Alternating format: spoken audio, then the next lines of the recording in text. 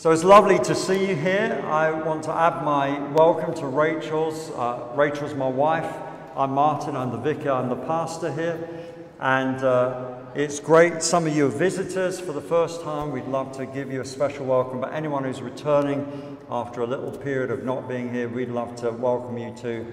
And brilliant that you got out of bed. I was saying uh, before when we were praying, one of my favorite songwriters um, in the kind of 80s was a guy called Keith Green. He, he kind of said some very uncomfortable things. And he wrote this song. And in the middle of it, he said, And Jesus rose from the dead. And you, you can't even get out of bed. Well, you did. So well done. Well done. So today is an amazing day as we focus on Easter Sunday, we focus on the resurrection. I wonder what it was that you were expecting in coming here today. I wonder what we're all expecting. Now, the clocks have moved forward, and the evenings grow lighter, and the summer comes into focus. Who's pleased the clocks have gone forward? Yeah? Oh, just some of you. Okay. Well, I'm thrilled. What do we expect to do with the longer evenings? When and where do we expect to go on holidays? What weather are we expecting?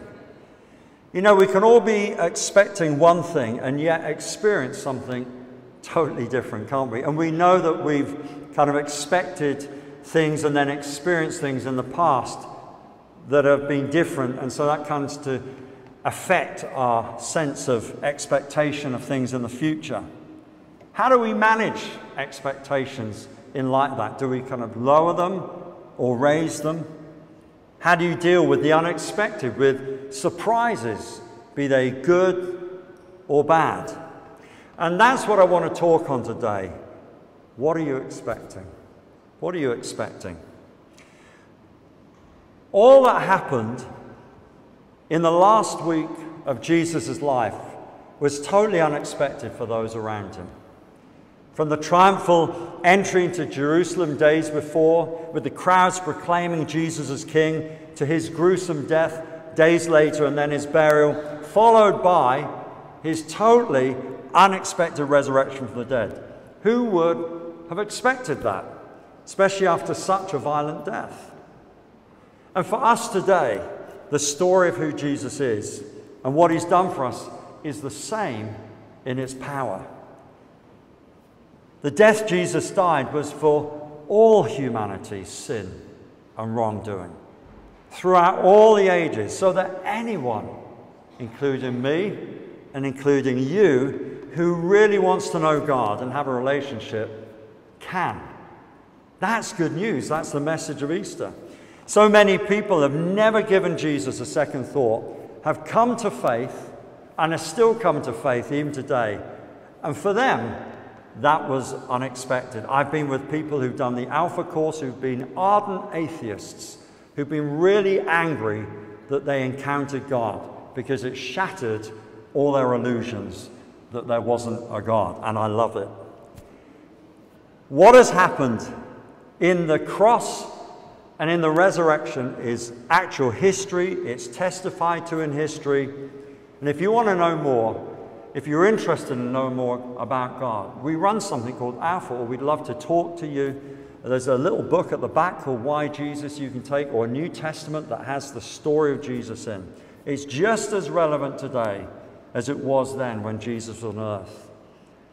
And, and the reactions of the people in today's society are the same as they were in Jesus' day.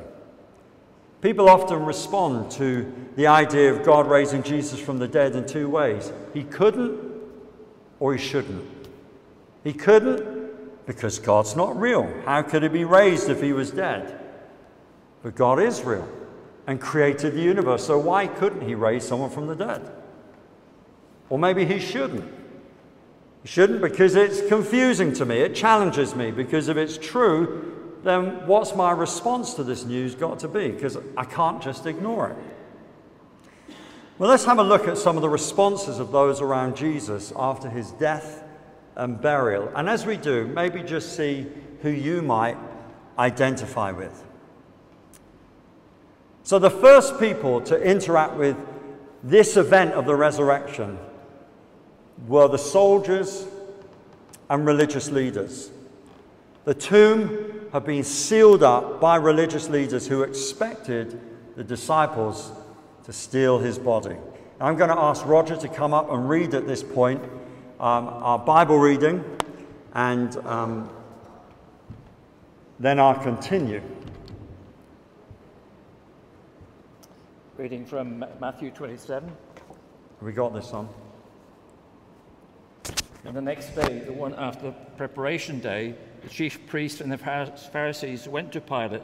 Sir, they said, remember that while he was still alive, that deceiver said, After three days I will rise again. So give the order for the tomb to be made secure until the third day. Otherwise, his disciples may come and steal the body and tell the people that has, he has been raised from the dead. This last deception will be worse than the first. Take a guard, Pilate answered. Go to the tomb and secure as you know how. So they went and made the tomb secure, putting a seal on the stone and posting a guard. There was a violent earthquake, for an angel of the Lord came down from heaven, going to the tomb, rolled back the stone, and sat on it. His appearance was like lightning, his clothes were white as snow, and the guards were so afraid of him they shook and became like dead. While the women were on their way, some of the guards came to the city and reported to the chief priests everything that had happened. When the chief priests had met with the elders, they devised a plan and they gave the soldiers a large sum of money, telling them, You are to say, His disciples came during the night and stole him away while we were asleep. If this report gets to the governor, we will satisfy him and keep you out of trouble. So the soldiers took the money as they were instructed, and this story has been widely circulated among the Jews to this very day. Thank you, Roger. Quite a plan, isn't it? The soldiers expected to guard the tomb without incident. They were people of authority. But later they were in, confronted by the reality of encountering an angel, the resurrection, and an empty tomb. However, they deliberately chose to ignore these realities. They denied them, being far more concerned with what others might think and terrified about the trouble they might get in for their failure to guard the tomb.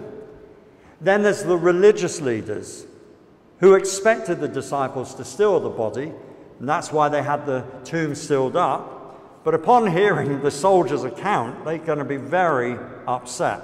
And they recognize that they're going to be proved wrong in all that they condemn Jesus for. So they deliberately also chose to ignore the truth. And not only that, they made a lie out of it.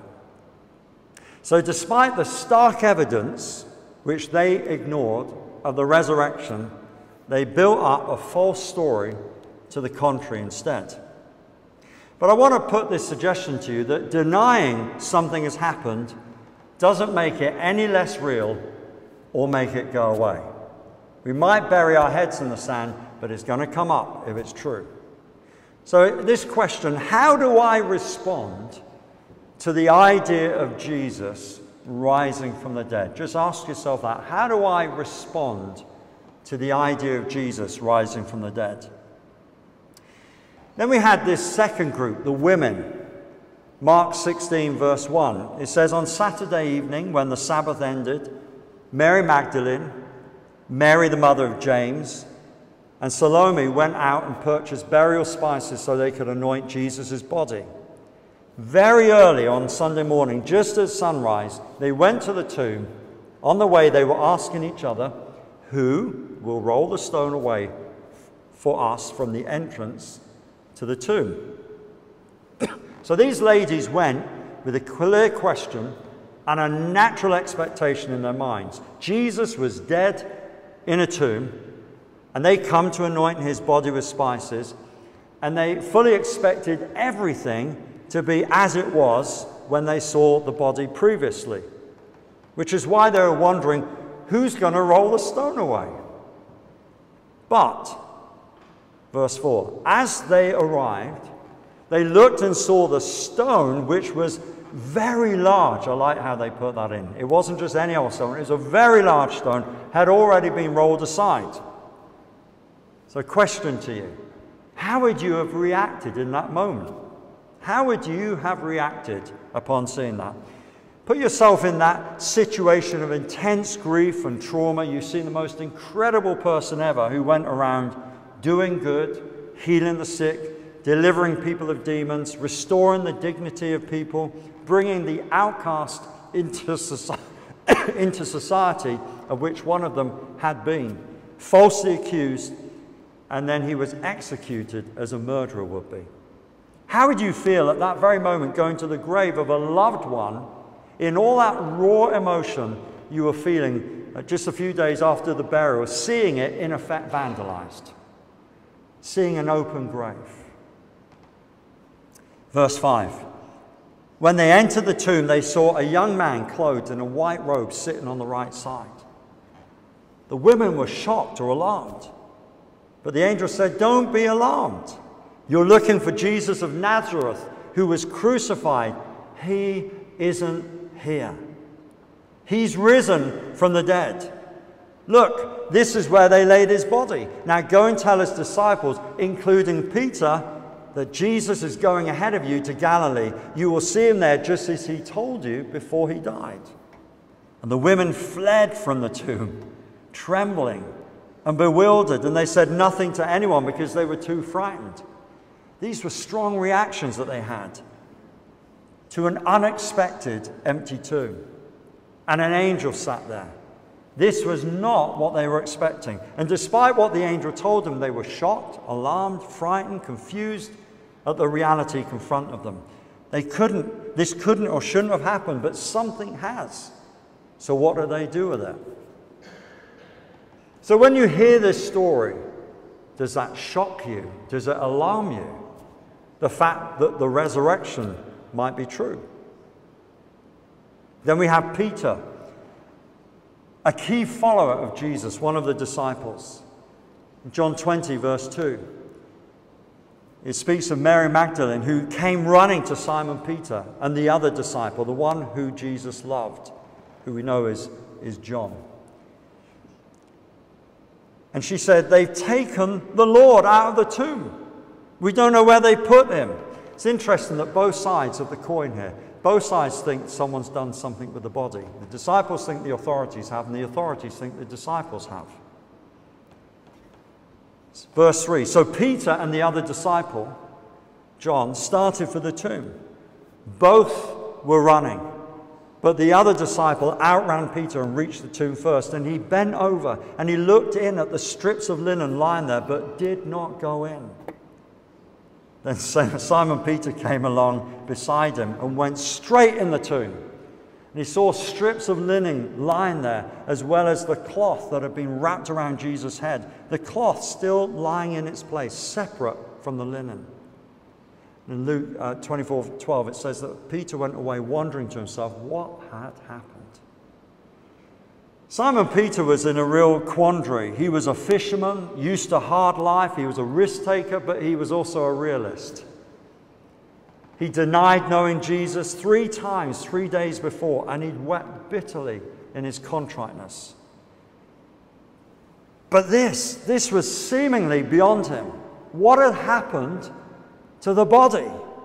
Where had it gone? Who could have taken it? And why? And what was to be gained from a, a, a grave theft. And then in the back of his mind, there was this slippery remembrance of things that Jesus had said. This, he, he, he couldn't quite grasp, it eluded him, but things about death and rising from the dead. What would this mean for him? How would he bring closure to all he felt? And what would this mean for the future of the disciples and all that Jesus had spoken of regarding things to come. Peter faced the facts, saw the empty tomb, but just didn't get it. He didn't understand. And I want to ask this question to you What about us?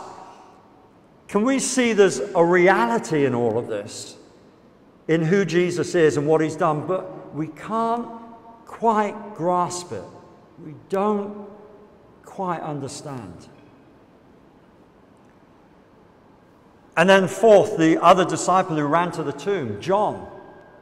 He later became an apologist, someone who writes in the defense or justification of something.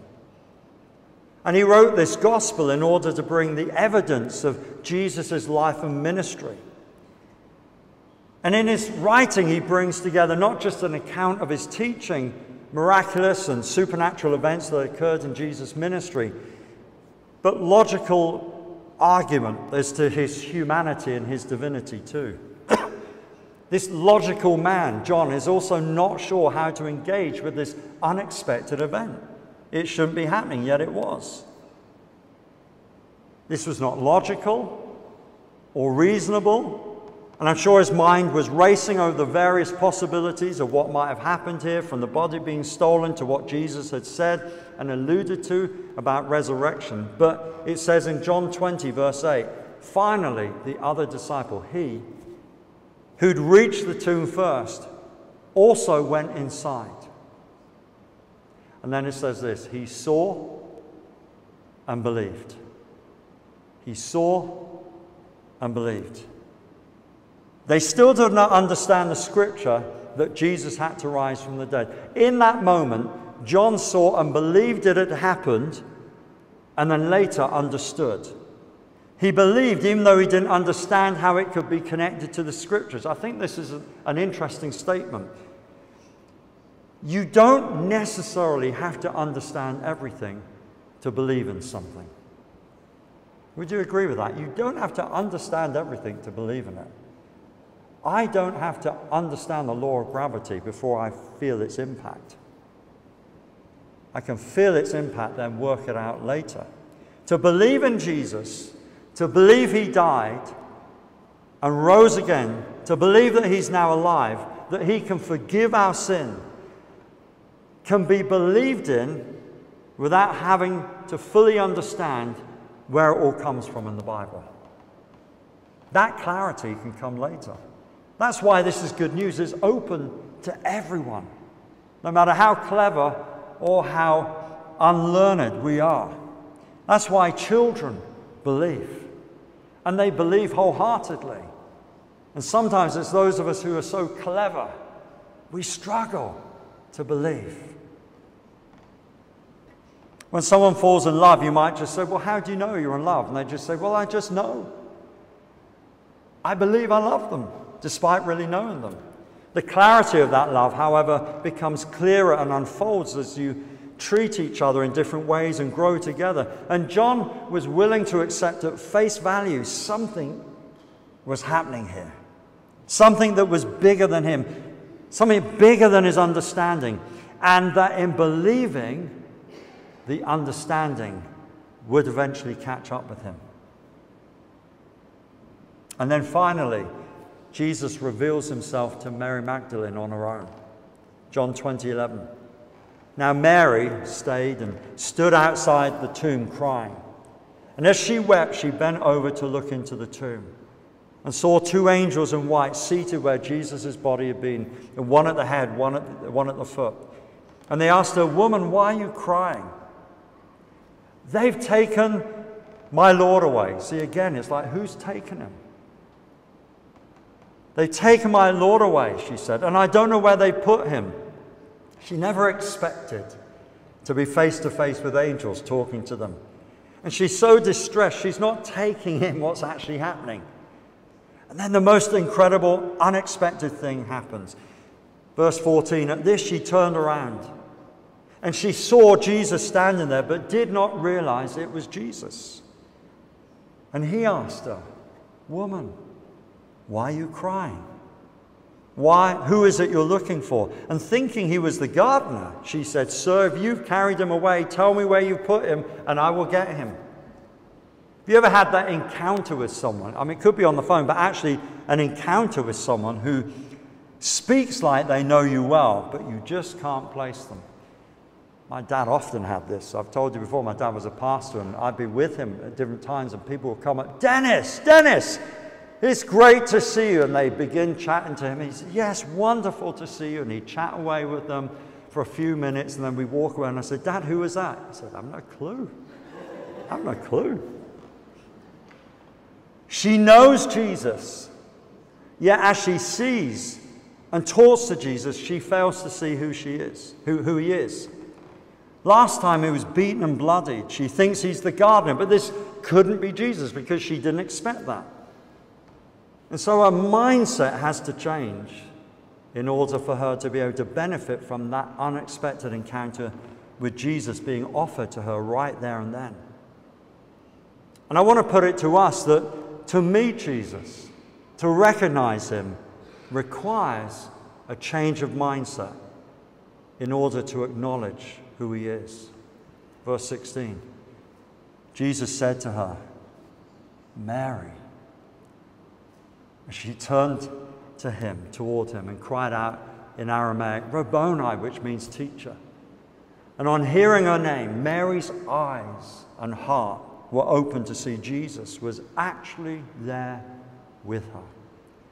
And it, it's at that point it becomes clear, and the fog lifts, and she recognizes his voice. It's too good to be true, but it is true. Jesus is alive, he's risen. It is true. And you know, you may have been here. You may have been in life encountering Jesus, encountering God, and never realized who He was. Sometimes we sing this song called All My Life You Have Been Faithful. God is with us, God never leaves us. The question is do we recognize who He is? Mary called, was called by name by Jesus, and she recognized. And I believe He's calling you by name today. He's speaking to you. What we can see in these events is that what everyone expected about Jesus and what he'd do was different to what God actually did even for those followers of Jesus who'd seen Jesus do the incredible things he had, who'd seen the impossible happen, had seen the supernatural God at work, doing things out of the normal, out of the natural, beyond their experience and expectation. This was too much to comprehend or understand. And so they lowered their expectations and they put God in a box, back into the natural realm.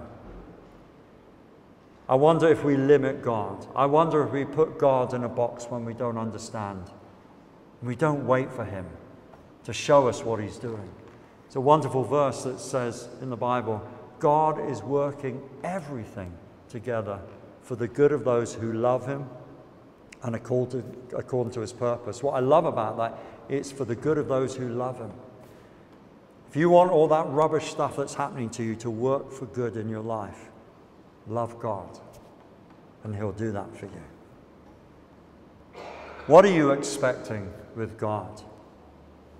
Have you boxed God in? Have you buried Him in a box with little or no expectation? You may be here today feeling overwhelmed and powerless about your life or situation, about work, health, a health issue, finance, a relationship issue, or a family issue. you might be disappointed with life and with God. And so, what you've done is you've absolutely lowered your expectations. You may be addicted to something. You may be in despair and wonder if God is really real. You may have no strength to go on or feel you've messed up so much and you're so ashamed of yourself that you've lowered your expectations of life and the future to conform with your current situation. You may be a Christian, you may be totally unchurched with no real faith, and you might have lost hope.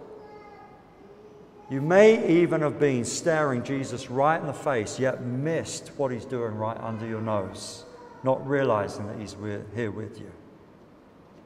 The thing is this God is bigger than anything we may be facing. And he's doing something different to what you might be expecting.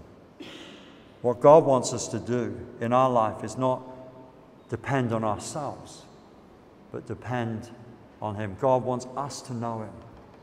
God wants to fill us with His life and His presence and power and hope.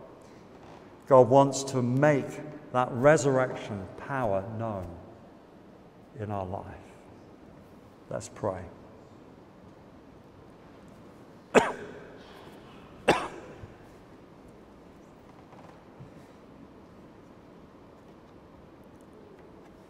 There were different people in that story those who denied and made up their own story, those who were confused and frightened by it all, those who saw it but didn't get it, those who saw it and believed but didn't fully understand, and those who had their eyes and hearts open to see. And I don't know where you're at, but God wants to meet you this morning, whoever you are, and to show His grace and His love. And if you're here and you've never known God, you've never connected with God, you've never known what it is to meet Jesus, I'm going to pray a prayer. And I just want you to echo it in your heart. It's a prayer that is inviting God into your life.